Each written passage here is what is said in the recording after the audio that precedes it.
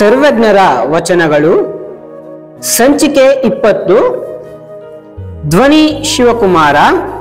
ಪ್ರಸ್ತುತಿ S K TV Kannada.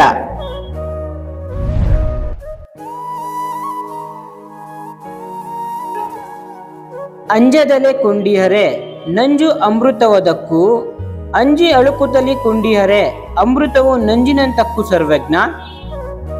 ನೋಡಿ, ಈ ಒಂದು ವಚನದಲ್ಲಿ ಸರ್ವಜ್ಞರು ಹೇಳಿದ್ದಾರೆ, ಧೈರ್ಯದಿಂದ ಎದುರಿಸಿದರೆ ಎಂತಹ ಕಷ್ಟವೂ ಪರಿಹಾರವಾಗುತ್ತದೆ, ಅಂದರೆ ವಿಷವೂ ಅಮೃತವಾಗುತ್ತದೆ. ಸಣ್ಣ ಕಷ್ಟಕ್ಕೂ ಚಿಂತಿಸಿದರೆ ಜೀವನ ದುಃಖದಿಂದ ತುಂಬಿ ಹೋಗುತ್ತದೆ, ಅಂದರೆ ಅಮೃತವು ವಿಷವಾಗುತ್ತದೆ ಅಂತೇಳಿ ಈ ಒಂದು ವಚನದಲ್ಲಿ ಹೇಳಿದ್ದಾರೆ.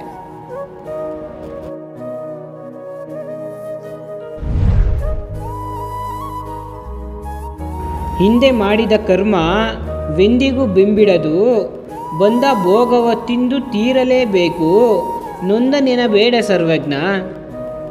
ನೋಡಿ, ಈ ಒಂದು ವಚನದಲ್ಲಿ ಸರ್ವಜ್ಞರು ಹೇಳುತ್ತಾರೆ, ಹಿಂದೆ ಮಾಡಿದ ಕರ್ಮ ಎಂದಿಗೂ ಬೆನ್ನು ಬಿಡುವುದಿಲ್ಲ, ಅಂದರೆ ಯಾವುದೇ ಜನ್ಮದಲ್ಲಿ ಮಾಡಿದಂತಹ ಕರ್ಮ ಬೆನ್ನು ಬಿಡುವುದಿಲ್ಲ, ಬಂದದ್ದನ್ನು ಅನುಭವಿಸಲೇಬೇಕು ಏನೇ ಬಂದರೂ ಎದುರಿಸಲೇಬೇಕು. ಆದ್ದರಿಂದ ನೊಂದು ಕುಳಿತರೆ ಪ್ರಯೋಜನವಿಲ್ಲ ಅಂತೇಳಿ ಇಲ್ಲಿ ಹೇಳ್ತಾರೆ.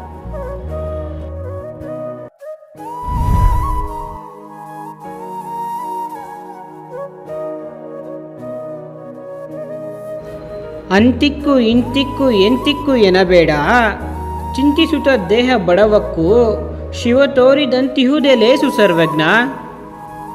ನೋಡಿ, ಈ ಒಂದು ಅದ್ಭುತ ವಚನದಲ್ಲಿ ಸರ್ವಜ್ಞರು ಹೇಳುತ್ತಾರೆ, ಈ ಜಗತ್ತು ಹಾಗಿದೆ, ಹೀಗಿದೆ ಎಂದು ಹಲುಬಬೇಡ. ಚಿಂತಿಸಿ ಚಿಂತಿಸಿ, ಶರೀರ ಬಡವಾಗುತ್ತದೆ ಹೊರತು ಇನ್ನೇನೂ ಪ್ರಯೋಜನವಿಲ್ಲ. ಆದ್ದರಿಂದ ಆ ಶಿವ ತೋರಿದ ದಾರಿಯಲ್ಲಿ ನಡೆದುಕೊಂಡು ಹೋಗುವುದೇ ಲೇಸು ಎಂದು ಇಲ್ಲಿ ಹೇಳುತ್ತಾರೆ.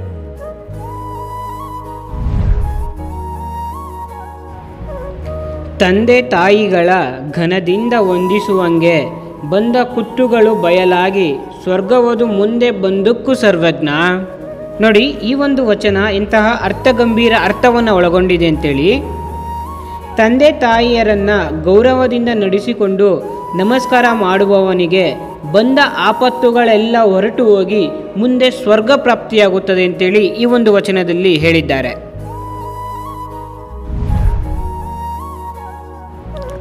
ಆನೊಂದು ಮಾಡುವೆನು, ಆನೊಂದು ಊಡುವೆನು, ಆನೊಂದು ಮಾಡಲಾನಂದವೆನಲು ಶಿವ ತಾನೊಂದು ಮಾಳ್ಪ ಸರ್ವಜ್ಞ.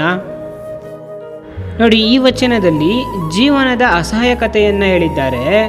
ನಾನು ಹೀಗೆ ಮಾಡುತ್ತೇನೆ, ಹೀಗೆ ನಡೆದುಕೊಳ್ಳುತ್ತೇನೆ, ಹೀಗೆ ಸಾಧಿಸುತ್ತೇನೆ ಎಂದುಕೊಂಡರೆ ವಿಧಿ ಇನ್ನೊಂದನ್ನೇ ಬಯಸುತ್ತದೆ, ಆಗ ಭಗವಂತನ ಇಚ್ಛೆಯೇ ಇನ್ನೊಂದಾಗಿರುತ್ತದೆ ಎಂಬ ಅರ್ಥದಲ್ಲಿ ಇಲ್ಲಿ ಹೇಳಿದ್ದಾರೆ.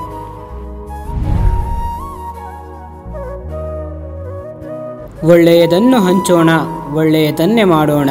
ಧನ್ಯವಾದಗಳು.